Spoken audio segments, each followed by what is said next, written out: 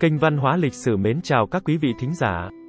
Khán giả tuổi trung niên khó lòng quên được hình ảnh Nguyễn Chánh Tín trong vai Robert Nguyễn Thành Luân, cán bộ tình báo hoạt động trong lòng địch trong bộ phim Ván bài lật ngựa. Người ta nói, vai diễn đại tá Nguyễn Thành Luân như sinh ra là để dành cho Nguyễn Chánh Tín và ngược lại. Chính vì thế, kể cả phim được làm lại chắc cũng khó có ai mà vượt qua được hình tượng mà ông đã thổi hồn cho vai diễn. Năm 1982, bộ phim được bấm máy, chuyển thể từ tác phẩm Giữa biển giáo rừng gươm của nhà văn Trần Bạch Đằng, do đạo diễn Lê Hoàng Hoa viết kịch bản và đạo diễn. Nhân vật Nguyễn Thành Luân được nhà văn Trần Bạch Đằng xây dựng dựa trên nguyên mẫu là đại tá Phạm Ngọc Thảo. Cho đến nay, đại tá Phạm Ngọc Thảo vẫn còn là một bí ẩn khó có thể giải mã. Không phải vì xung quanh ông vẫn còn những bí mật quân sự, cũng không phải xung quanh ông có những điều nhạy cảm khó nói. Khó giải mã là do tầng tầng lớp lớp những biến cố lịch sử, những quan hệ, sự thiên biến vạn hóa của chiến lược, chiến thuật, kỹ thuật, nghệ thuật chiến tranh tồn tại trên chiến trường, trên chính trường và trong cuộc sống nhưng nằm ngoài sách vở và các bản tổng kết. Nhiều nhà phân tích tình báo quốc tế đã gọi Phạm Ngọc Thảo là điệp viên có 102 vì ông là điệp viên hoạt động đơn tuyến, không có đồng đội trực tiếp hỗ trợ, chỉ chịu sự chỉ đạo về chiến lược của Trung ương. Nhiệm vụ của ông không phải là thu thập tin tức mà là tác động đến sự rối loạn chế độ ngụy quyền. Cuộc đời của tình báo viên Phạm Ngọc Thảo kết thúc ở tuổi 43. Ông đã đi suốt chặng đường trọn vẹn đầy kỳ lạ của mình, một mình tung hoành giữa hang hùm với tài trí và sức thuyết phục đặc biệt. Mãi đến ngày 30 tháng 8 năm 1995, Đại tá Quân đội Nhân dân Việt Nam, liệt sĩ Phạm Ngọc Thảo mới được truy tặng danh hiệu Anh hùng lực lượng vũ trang nhân dân. Lý do của sự chậm trễ này chưa bao giờ được công bố chính thức. Không thể đem những lý lẽ thông thường để luận giải cuộc đời bi tráng của người anh hùng phi thường này.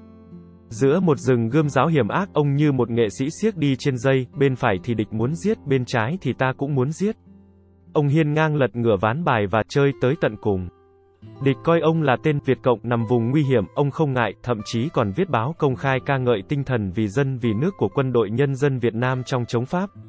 Ngại nhất là ta, bởi vì ngay tại sở chỉ huy của kháng chiến cũng chỉ vài người được biết ông là người của ta, nên khi ông thả hàng ngàn tù chính trị, cơ quan chỉ huy kháng chiến cấp dưới lập tức kết luận ông là tên tỉnh trưởng bị dân nguy hiểm nhất cần phải trừ khử.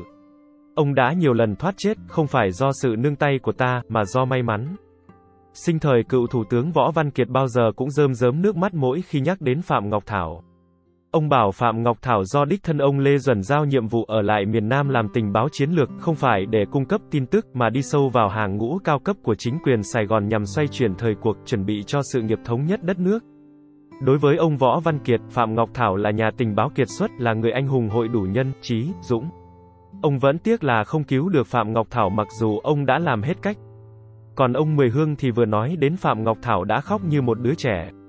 Ông nước nở, phong anh hùng 10 lần cho Phạm Ngọc Thảo cũng xứng đáng, nhưng chưa thể được vì vợ con Thảo đang ở Mỹ.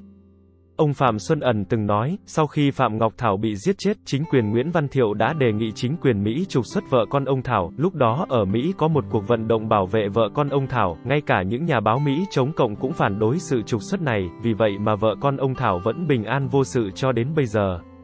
Ngày hôm nay, kênh Văn hóa Lịch sử xin được cùng quý thính giả tìm hiểu về những giờ phút cuối cùng của nhà tình báo huyền thoại đại tá Phạm Ngọc Thảo. Trong những năm năm 1962 đến năm 1963, giữa lúc phong trào đồng khởi lan rộng ở nông thôn, chính trường miền Nam Việt Nam trở nên rối ren. Gia đình họ Ngô vừa cai trị độc tài, vừa muốn thoát khỏi sự can thiệp của người Mỹ, tình hình này khiến cho phong trào đấu tranh của quần chúng ở đô thị dâng cao. Người Mỹ thì muốn gạt bỏ gia đình họ ngô để thay vào đó giới lãnh đạo thân Mỹ nhằm biến miền Nam thực sự là một tiền đồn chống cộng. Biết trước sau gì gia đình họ ngô cũng bị người Mỹ lật đổ để dựng lên một chính quyền nguy hiểm hơn, Phạm Ngọc Thảo cùng với Trần Kim Tuyến và Huỳnh Văn Lang lên một kế hoạch đảo chính với mục tiêu cải sửa chế độ nhằm vô hiệu hóa ý đồ của người Mỹ. Theo kế hoạch này, lực lượng đảo chính sẽ vẫn giữ Ngô Đình Diệm làm tổng thống, chỉ buộc Ngô Đình Nhu ra nước ngoài. Tuy nhiên, kế hoạch bị lộ, Trần Kim Tuyến bị đưa đi làm lãnh sự ở Ai Cập. Ngô Đình Nhu không tin Phạm Ngọc Thảo tham gia kế hoạch này, thứ nhất là ông Nhu không tin ông Thảo phản bội, thứ hai là ông Thảo không có quân.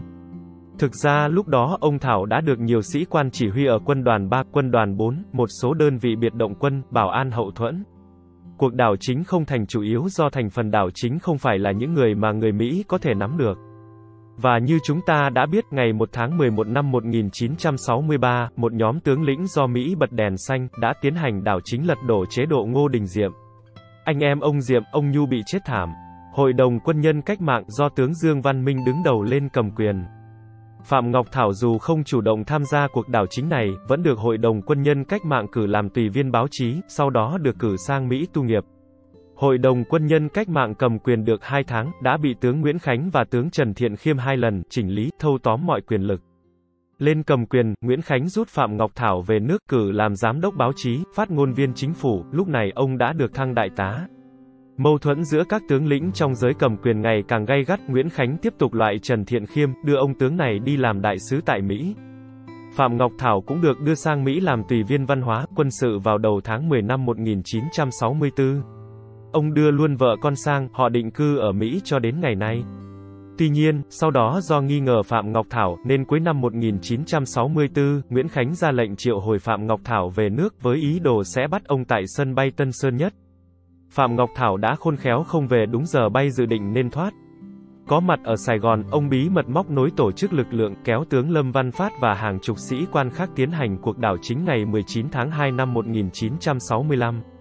Điều kỳ lạ là lúc đó Phạm Ngọc Thảo tuy là đại tá nhưng không cầm quân và đang bị Nguyễn Khánh truy bắt lại có thể tổ chức và chỉ huy một lực lượng không dưới một sư đoàn làm binh biến, gồm các đơn vị thiết giáp với 45 xe tăng và thiết giáp, các đơn vị địa phương quân, lực lượng của trường bộ binh Thủ Đức và chủ lực là trung đoàn 46 thuộc sư đoàn 25 bộ binh. Cuộc binh biến do tướng Lâm Văn Phát cầm đầu về danh nghĩa, còn thực tế do Phạm Ngọc Thảo tổ chức và chỉ huy, sau này người ta gọi ông là tư lệnh hành quân 19 tháng 2. Chỉ trong một ngày, lực lượng đảo chính đã chiếm bộ Tổng Tham mưu, Bộ Tư lệnh Biệt khu thủ đô, trại Lê Văn Duyệt, Đài Phát thanh Sài Gòn, Bến Bạch Đằng và sân bay Tân Sơn Nhất. Đáng tiếc là do một số sơ sót trong hợp đồng tác chiến, Nguyễn Khánh đã được tư lệnh không quân lúc đó là Nguyễn Cao Kỳ cứu thoát. Năm 2008, Nguyễn Cao Kỳ nói, cái ông Phạm Ngọc Thảo này rất lạ. Hồi đó nhiều người nghĩ ổng là cộng sản, nhưng lạ là không ai làm gì được ổng. Ổng nói nhỏ nhẹ và rất thuyết phục, ai cũng nghe. Năm 1965, tôi mà không ngăn cản thì ổng đã làm thủ tướng rồi. Ngẫm nghĩ một hồi, ông Kỳ nhớ lại, cuộc đảo chính diễn ra bất ngờ đến mức tôi không kịp mặc áo, chỉ mặc may ô chui hàng rào thép gai ra lấy máy bay chạy về Biên Hòa.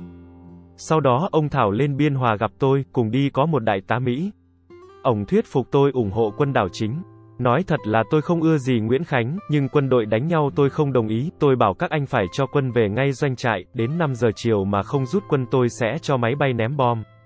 Đó là lý do khiến cuộc đảo chính thất bại. Tuy nhiên, Nguyễn Khánh cũng bị loại.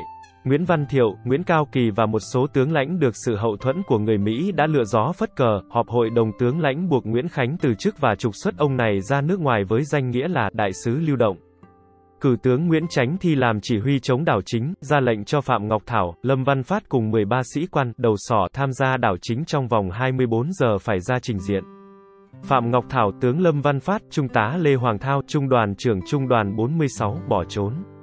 Tháng 6 năm 1965, Hội đồng tướng lĩnh giải tán chính phủ dân sự của Phan Huy Quát đưa tướng Nguyễn Văn Thiệu làm Chủ tịch Ủy ban lãnh đạo quốc gia tương đương quốc trưởng, tướng Nguyễn Cao Kỳ làm Chủ tịch Ủy ban hành pháp Trung ương tương đương Thủ tướng. Chính quyền Thiệu Kỳ lập tòa án quân sự để xử những người tham gia đảo chính. Phạm Ngọc Thảo bị kết án tử hình vắng mặt, chúng treo giải thưởng 3 triệu đồng cho ai bắt được ông. Được lệnh rút ra căn cứ, nhưng Phạm Ngọc Thảo vẫn thuyết phục được ông Võ Văn Kiệt đồng ý để ông ở lại, chuẩn bị lực lượng tiến hành cuộc đảo chính tiếp theo, nhằm ngăn chặn chính quyền Thiệu Kỳ mở đường để người Mỹ đưa quân can thiệp trực tiếp vào miền Nam Việt Nam, leo thang chiến tranh. Bị truy bắt gắt gao, Phạm Ngọc Thảo vẫn ở lại Sài Gòn, được các giám mục, linh mục, giáo dân công giáo cùng nhiều bạn bè trong và ngoài quân đội giúp đỡ, bảo vệ, cho xuất bản tờ, Việt Tiến, để tập hợp lực lượng. Nguyễn Văn Thiệu nhận thấy mối đe dọa an nguy thường trực từ Phạm Ngọc Thảo, quyết tâm trừ khử để diệt hậu họa. Ông bị an ninh chính quyền Sài Gòn bắt đem đi thủ tiêu vào ngày 15 tháng 7 nhưng chỉ bị thương nặng, được các linh mục và nữ tu đem về một tu viện chăm sóc. Sau đó, ông bị cơ quan an ninh quân đội Việt Nam Cộng Hòa bắt lại vào ngày 16 tháng 7 năm 1965. Tại Bộ Tổng Tham mưu, Nguyễn Ngọc Loan và thuộc hạ đã tra tấn, bóp hạ bộ ông cho đến chết ngay trong đêm hôm đó. Linh mục Nguyễn Quang Lãm, chủ bút báo xây dựng, là người có tình cảm đặc biệt đối với Phạm Ngọc Thảo.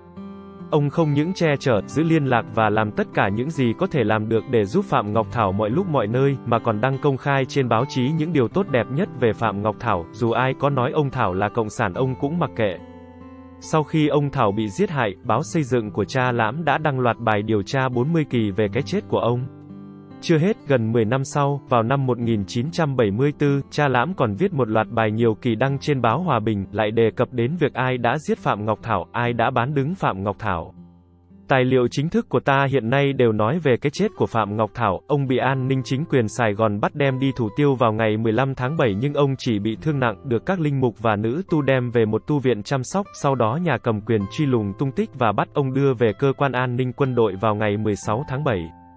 Tại đây, Nguyễn Ngọc Loan và thuộc hạ đã tra tấn và bóp hạ bộ ông cho đến chết ngay trong đêm hôm đó. Báo chí và dư luận ở Sài Gòn trước giải phóng cũng nói như vậy. Chính cha Lãm đã trực tiếp gặp Nguyễn Ngọc Loan để hỏi cho ra nhẽ. Tướng Loan chối, bảo rằng không có chuyện đó, rằng ông Thảo chết là do bị thương quá nặng, thậm chí ông ta còn nói mình không liên quan đến chuyện bắt bớ ông Thảo.